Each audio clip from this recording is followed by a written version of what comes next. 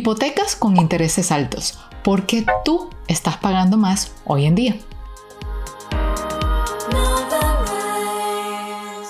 Hola a todos y bienvenidos de nuevo a otro episodio en Rise. Y en este preciso momento vamos a hablar acerca de las hipotecas. Claro que ya no es secreto de ningún tipo que la tasa de interés están altas, pero en el episodio de hoy lo que quiero es compartirle un poquitico más de información para ayudarles a entender el por qué están altas. Sí, tiene algo que ver con la Reserva Federal, pero no del todo. Así que sin más que decir, vamos de una a los artículos que tengo para compartir en el día de hoy y hacia el final vamos a cubrir algunas posibles soluciones que puedes implementar para poder invertir en el mercado inmobiliario o simplemente comprar ese hogar que tanto anhelas tener a pesar de la tasa de intereses altos. Así que empecemos. Bueno, antes de comenzar, lo primero que quiero hacer es mostrarle los datos históricos de la tasa de inflación en los últimos 12 meses, ya que ha sido un tema que han hablado una y otra vez. Entonces, aquí tenemos las tasas inflacionarias eh, de hace 12 meses atrás y como verán, poco a poco la Reserva Federal, vamos a decir que fue cumpliendo con su trabajo de ir disminuyendo esa tasa inflacionaria en este país, empezando desde 8.3 hasta llegar al punto de 3.2. Esa es la inflación hasta la fecha en julio. Yo sé que todavía faltan los números de agosto, pero recuerden que para poder obtener los números más recientes, uno tiene que darle al sistema aproximadamente unos 40-45 días para que puedan recolectar los datos del mes anterior y luego unos cuantos días al principio del mes para que lo puedan procesar y eventualmente vamos a ver la tasa de inflación para el mes de agosto. Pero hasta la fecha parece ser que la tendencia ha estado hacia la baja. Sí, puede ser que en junio bajó y en julio subió un poquito, pero no sabemos qué puede pasar en agosto. Entonces, para aquellos que están curiosos y siempre están escuchando acerca de la tasa de inflación, ahí la tienen.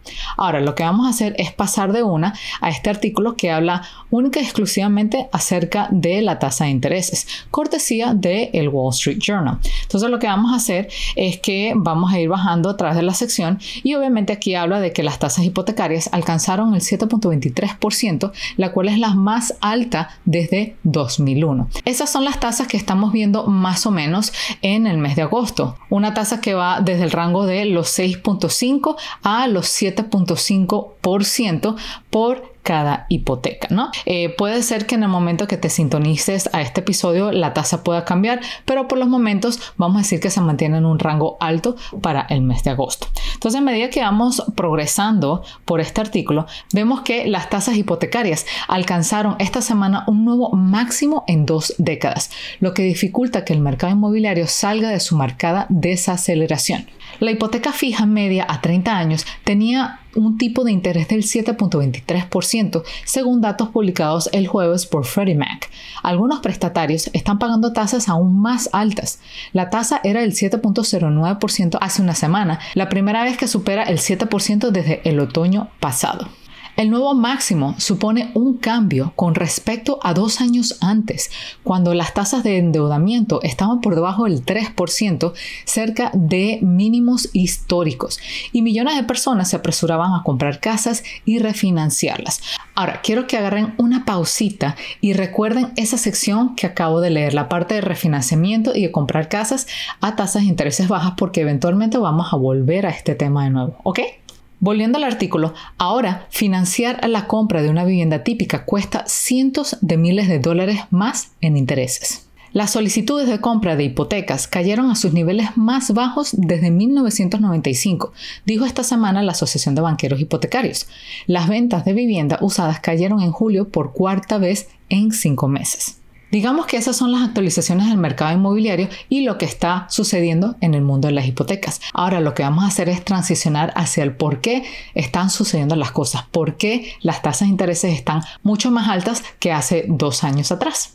Volviendo al artículo, lo más importante que hay que entender es que los prestamistas no suelen conservar las hipotecas que otorgan, en cambio buscan inversores que los compren.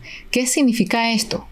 Esta es la manera como funcionan con las hipotecas. Vamos a decir que vino Chepito González y dijo, yo me quiero comprar esta casa por 350 mil dólares.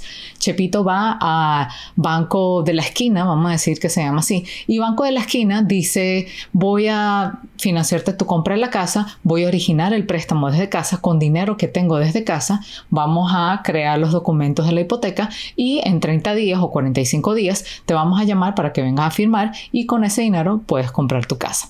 Entonces lo que sucede es que llega Chepito, tal cual como le prometieron, 45 días después viene y firma sus documentos en la hipoteca y felicitaciones, ya eres dueño de casa y ahora tienes una deuda entre Chepito con el banco de la esquina.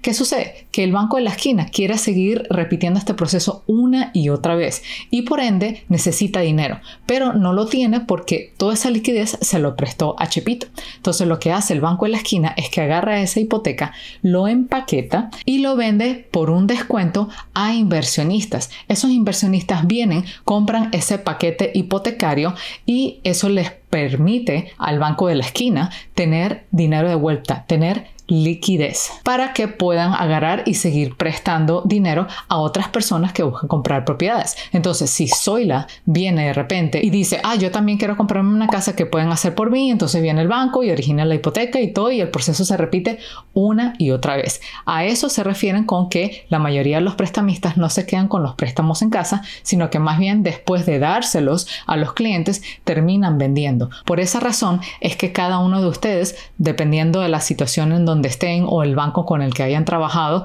o el momento de la hipoteca, es muy probable que entre 6 a 12 meses después de haber comprado una casa, ustedes reciben una carta de un banco diciendo, oh, ya nosotros no somos los que le estamos ayudando con la hipoteca, de ahora en adelante tienes que pagarla a fulano de tal porque esta persona compró la hipoteca o esta institución compró la hipoteca. A eso es lo que se están refiriendo en este párrafo. Ahora, volviendo al artículo, sin embargo, esa venta o compra de hipoteca tiene un precio. Los inversores quieren ganar más por asumir el riesgo de comprar hipotecas en comparación con los bonos del tesoro super seguros.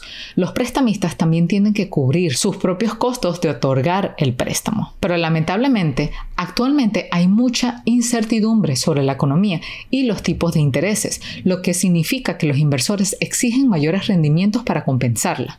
También hay menos demanda de hipotecas por parte de los principales inversores. La Reserva Federal, que compró cantidades masivas de bonos hipotecarios durante la pandemia como parte de su esfuerzo por estimular la economía, prácticamente no compró ninguno durante el año pasado porque está reduciendo su cartera. Ahora, ¿qué significa esto? Porque, ok, la Reserva Federal, los inversores, bueno, sucede esto, que eh, vamos a decir que Normalmente, cuando uno invierte en bienes raíces eh, y saca una hipoteca, las tasas de intereses eh, tienden a ser pagadas por, obviamente, el inquilino y eventualmente también las tasas de intereses son eh, deducibles de tus impuestos. Hasta ahí estamos claros, ¿no? Entonces, cuando es deducible de tus impuestos, tú tiendes a ahorrar un poco más de dinero en casa porque no los tienes que pagar en impuestos. Pero, ¿qué sucede con la situación que está sucediendo hoy en día? Sí, las tasas de interés están más caras. Eso quiere decir que los inversionistas que están buscando comprar esas hipotecas también tienen que, eh, vamos a decir, adquirir un gasto más alto porque las tasas de interés están más altas y por ende están demandando retornos más altos al mismo tiempo. Pero, ¿qué sucede hoy en día? Vamos a decir que el mercado mercado está ahorita como que en un momento de stand-by, tratando de esperar a ver qué es lo que está pasando y eso está afectando también los volúmenes. No hay suficientes casas que se están vendiendo y por ende eh, no hay volumen como para compensar. Porque vamos a estar claros, no está bien que el costo de eh, la compra de las hipotecas esté alta, pero si tú sigues generando dinero una y otra vez y con ese dinero que tú estás generando se puede pagar y aún así crearte una ganancia al final del día, los inversionistas lo ven como que, bueno, sí, vale la pena, a pesar de que está generando algo más caro, también estoy generando el volumen para poder pagar esos gastos y encima de eso estoy obteniendo una deducción. Pero lo que sucede es que eso no está pasando. Entonces, las tasas de interés siguen aumentando, pero el volumen de hipotecas que están siendo originadas cada vez va disminuyendo un poquito más, más y más y no hay suficientes compradores. O sea, personas como tú y yo no son suficientes para sustentar el mercado hipotecario. Y para eso, para que se pueda sustentar bien, se necesita de compradores mucho más grandes, como por ejemplo la la Reserva Federal, o los bancos privados que vienen e invierten directamente en esas hipotecas porque ellos son los que estimulan la economía para que sigan dando. Y mientras más compradores de hipoteca existen, más se estimula la economía y eso ayuda a que las tasas de interés se mantengan relativamente bajas y eso se traduce a una tasa hipotecaria mucho más económica para ti. Entonces ese es el factor que está influenciando en el momento. Hay falta de volumen y falta de compradores. Los dos están interconectados, porque si no hay suficiente volumen para compensar por el gasto, los inversionistas tampoco entran en la ecuación para comprar. Más bien están tratando de deshacerse de la deuda porque como no hay suficientes compradores y no hay suficientes hipotecas que están generando ganancia para ellos, lo que hacen es tratar de deshacerse de las deudas porque las deudas de una manera u otra, pues si no sabes liquidarlas bien, pueden consumir tus ganancias. Y eso es lo que está sucediendo ahorita según lo que estamos viendo en el artículo. Ahora, volvamos a este artículo. También aquí dicen que los bancos que también invirtieron su dinero extra en bonos hipotecarios cuando las tasas eran bajas, ahora están recortando sus tendencias temerosos de mantener valores de larga duración en sus balances. Eso fue lo que expliqué brevemente hace rato. Silicon Valley Bank tenía una gran cartera de bonos hipotecarios, lo que aceleró su desaparición en marzo. Para aquellas personas que quieran aprender más acerca del tema de Silicon Valley Bank y qué fue lo que le pasó cómo fueron afectados y por qué dejaron de existir en marzo, aquí los invito a que chequen este episodio, la cual les va a ayudar con su aprendizaje. Continuando con el artículo, las tendencias de valores relacionados con hipotecas por parte de bancos y cooperativas de crédito cayeron un 7% respecto al año anterior en el primer trimestre, según datos de Inside Mortgage Finance. Los reguladores comenzaron a liquidar decenas de miles de millones de dólares en valores respaldados por las hipotecas de SVB y bancos de firmas en el segundo trimestre, aumentando la oferta. Porque recuerden, lo que hace que el precio baja es que hayas mucho de esos productos disponibles en el mercado circulando. Mientras menos producto hay, más suben el precio porque la gente compite. Eso es lo que está sucediendo con las casas. Como no hay suficientes casas, la gente está queriendo pagar más porque se están volviendo locos para tratar de poner sus manos en una.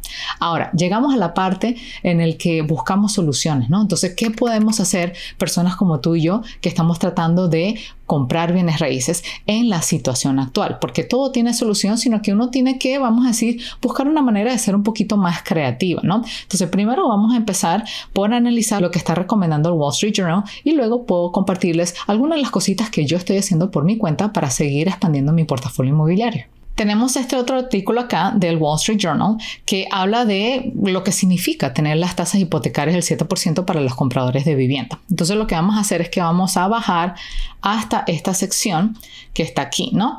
Entonces, uno, lo primero que dice o sugiere el artículo es que uno tiene que reducir sus expectativas. Yo sé que no es lo ideal, pero este, a lo mejor no es momento para estar pensando, esta es mi casa de los sueños o eh, la casa que yo compre tiene que ser mi hogar definitivo. No, puedes empezar por tener una casa un poquito más pequeña, a lo mejor no cumple con tus expectativas, pero al menos estás estacionando o parqueando tu dinero en un activo que con el pasar de tiempo vas creciendo. Al cambiar tus expectativas, por decirlo así, y concentrarte en algo, a lo mejor vamos a decir un poquito más pequeño, eso te ayuda con la asequibilidad. Es decir, que terminas comprando una casa menos cara, la cual todavía te permite entrar en ese mercado inmobiliario. Y recuerda, la casa no tiene que ser tu hogar definitivo. Lo puedes comprar por los momentos, estacionar tu dinero ahí por uno, dos o tres años, esperar a ver qué sucede en el mercado y eventualmente puedes salir de esa casa, sea o vendiéndola o haciendo un cash or refi, que eso es generalmente lo que yo haría.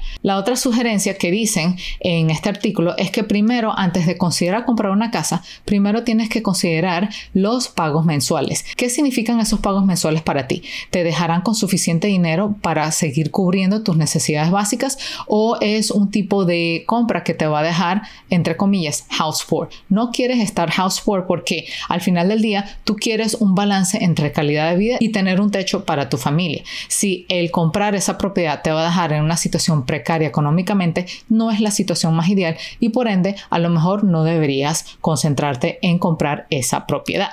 Entonces, para recapitular los dos ejemplos de ellos, compra una casa, pero una casa que sea más asequible para ti. Es decir, no tienes que comprar la casa de tus sueños. Puedes empezar por una casa más pequeña, estacionar tu dinero ahí y eventualmente esperar dos, tres años para ver qué sucede y decidir desde ese momento qué quiero hacer. ¿Será vender esta propiedad para comprarme una más grande que sí cumpla con mis expectativas o simplemente me quedo con esta propiedad, la hago un cash out refi, rento esta y voy y me compro otra?